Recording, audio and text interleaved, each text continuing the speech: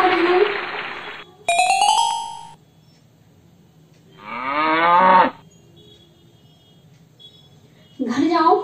और स्वेटर पहनो